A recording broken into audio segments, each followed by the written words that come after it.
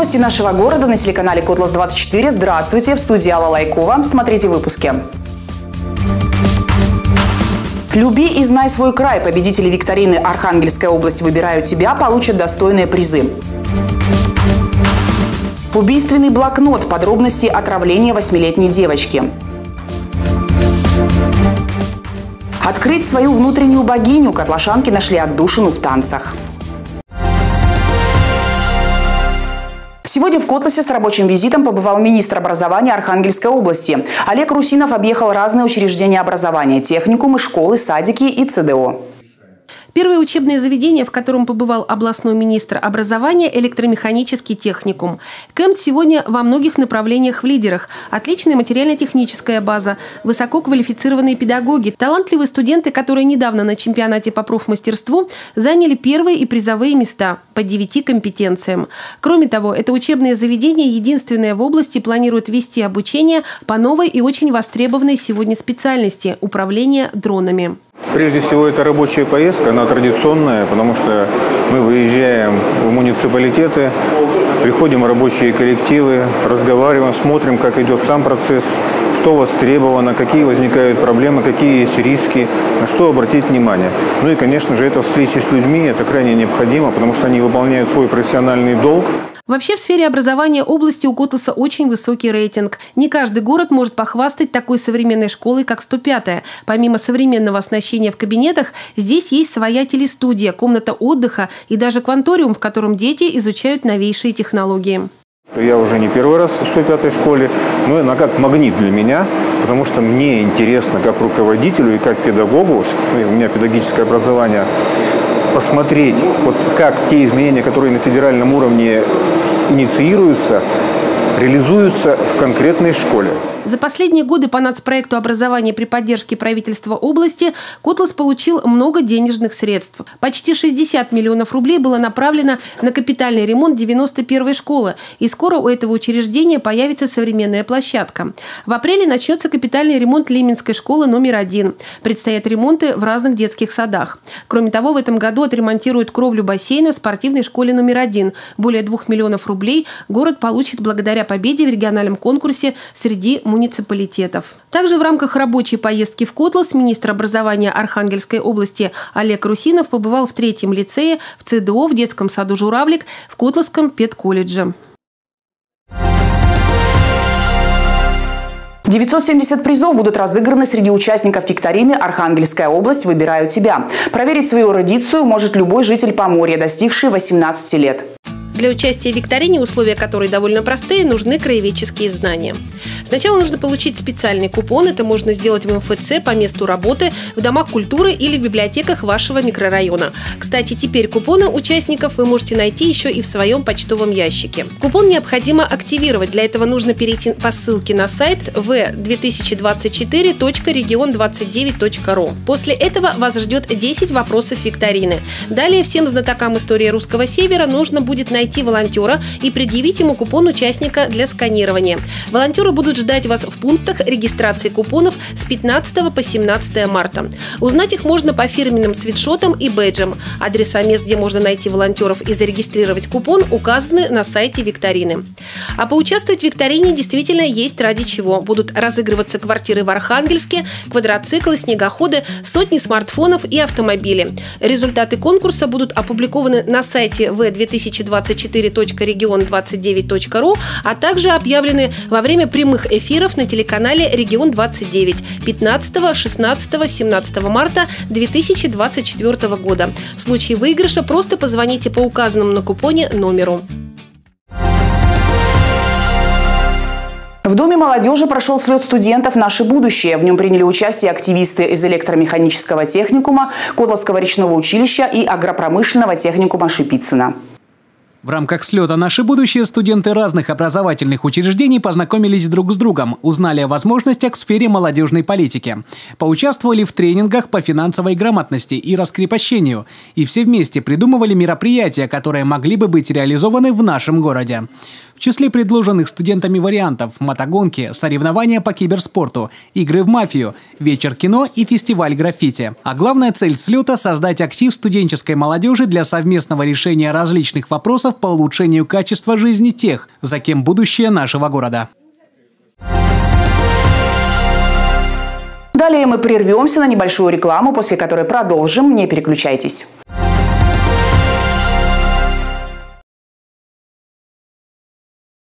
Магазин секонд-хенд одежды из Европы и Америки. Навес. Котлас ТЦ Весна. Второй этаж. Новое поступление завтра. Подарки от всего сердца для любимых, дорогих и единственных женщин. Выбираем в магазине ковры на бульваре в Котласе и в салоне «Аквадом» в Коряжме.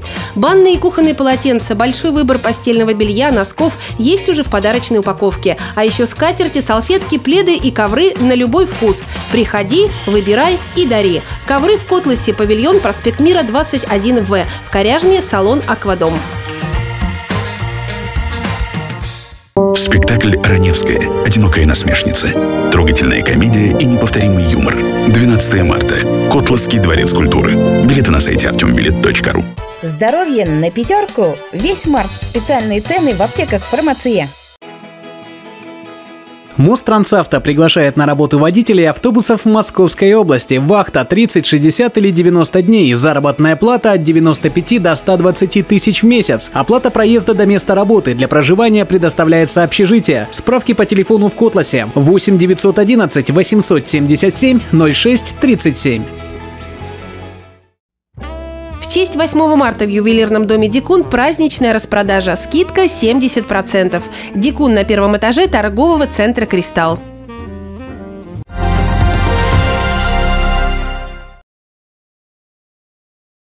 Появились подробности происшествия, в котором чуть не погибла восьмилетняя девочка. Предположительно, она отравилась гелем из обложки блокнота.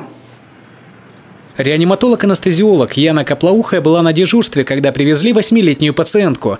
Девочка была практически без сознания, в очень тяжелом состоянии. Ее мама рассказала, что, вероятнее всего, дочь отравилась гелем, который был в обложке блокнота. Девочка эту обложку каким-то образом случайно абсолютно повредила и сказала маме о том, что она попробовала на вкус содержимое вот этого блокнота. Вот оно было сладкое, немножко едкое. Мама сразу же оказала ребенку ну, минимальную помощь на дому, потому что девочка чувствовала себя абсолютно хорошо.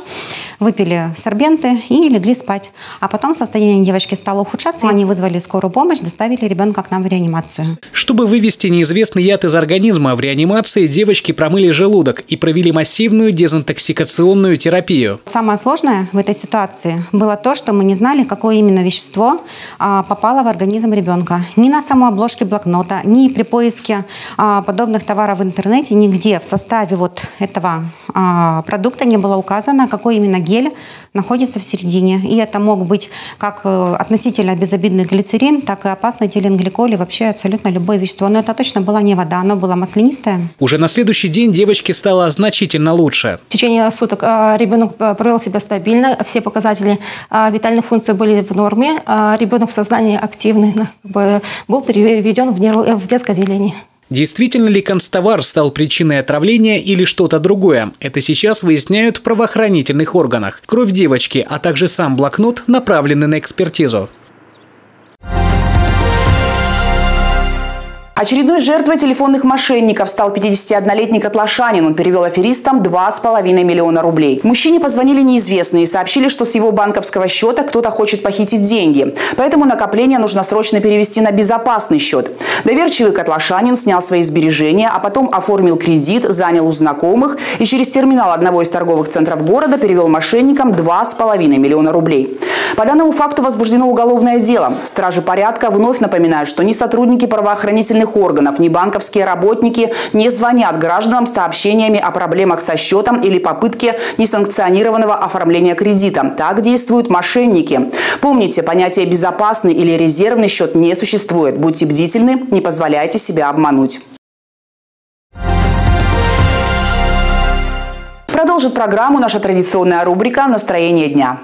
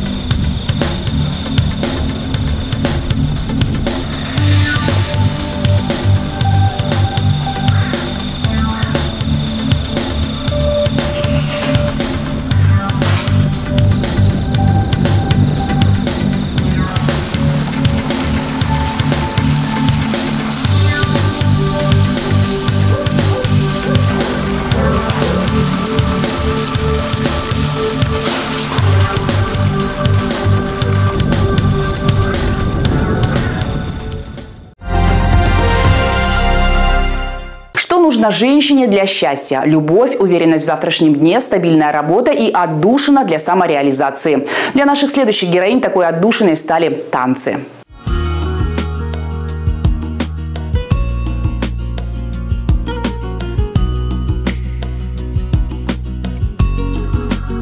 Романтичная музыка, плавные движения, блеск в глазах, раскрыть своих внутренних богинь этим девушкам помогает танец. Они только в начале своего танцевального пути и до уровня Шакиры далеко, но стать грациознее, женственнее, увереннее в себе уже получается.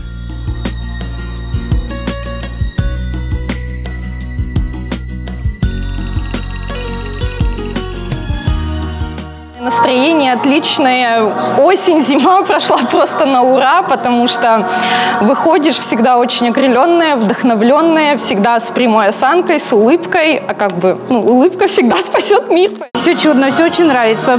Такой подъем настроения. Никогда до этого танцами вообще не занимались. Пусть даже что-то не получается, выходим в какой-то эйфории. Стать пластичнее и раскрепощеннее этим девушкам помогает хореограф Ольга Липустина. Глядя на подтянутую стройную женщину с лучезарной улыбкой и горящими глазами, язык не поворачивается сказать, что преподавать танцы она начала после выхода на пенсию. Много лет Ольга работала в ПКТС, но среди увлечений всегда были спорт и танцы. Видимо, в этом и кроется секрет ее молодости. Когда я вышла на заслуженный отдых 26 лет, как говорится, Скоридзе, если не смотреть в зеркало, то я даже не успела подумать, э, чем бы мне заниматься. За меня подумали другие. Кто-то меня направил, кто-то меня подтолкнул, и вот я в танцах. И ко мне присоединились девчонки.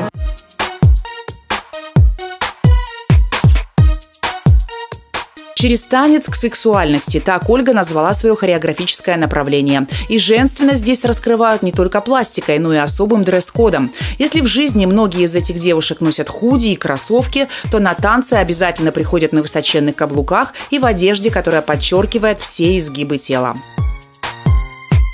Все приходят сюда вечером после тяжелого трудового дня, и хочется нам здесь расслабиться. Конечно, здесь, мне кажется, раскрывается э, все-таки танец – это раскрывается Венера в женщине, женская сексуальность. Сначала, может быть, девчонки закрыты с одной стороны, а потом, глядя на себя в зеркало, любуются. А одна девушка мне сказала, что закрывает глаза и ощущает танец.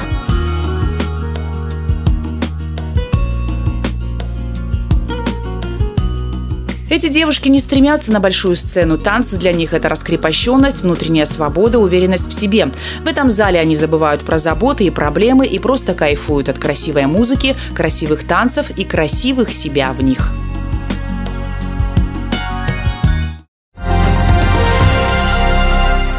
8 марта в Котловском дворце культуры пройдет шоу-показ «Мода. Костюм. Сцена». По-весеннему красивая праздничная программа поднимет настроение прекрасной половине человечества. Сценические костюмы. Обычно зрители Дворца культуры видят их во время разных концертов и постановок. Впервые то, что шилось для танцоров, певцов и артистов, будет представлено в виде шоу-показа «Мода, костюм, сцена». Над коллекциями работали модельеры ДК Елена Баскакова и Наталья Зотова. Ее наряды недавно были представлены в Москве на выставке «Россия». Последняя коллекция называется «Краса Севера». И источником творчества для ее создания послужил а, праздничный женский костюм русского севера. А, то есть э, коллекция отображает тот костюм, в который наряжались э, молодые незамужние девушки на гулянье. Во время шоу показ сценических коллекций будет чередоваться с творческими номерами от различных коллективов Дворца культуры. Этот концерт включает в себя не только показы, но и танцевальные и вокальные номера в костюмах, которые были специально изготовлены для артистов. А в фойе зрителей будут ждать интересные фотозоны и коллекция кукол от Натальи Зотовой. Шоу-показ «Мода. Сцена. Костюм» пройдет в городском дворце культуры 8 марта. Начало в 16 часов. Сегодня это вся информация. Новости нашего города смотрите на сайте kotlas24.ru и в одноименной группе ВКонтакте. Я же с вами прощаюсь. Хорошего завершения вечера. Увидимся завтра.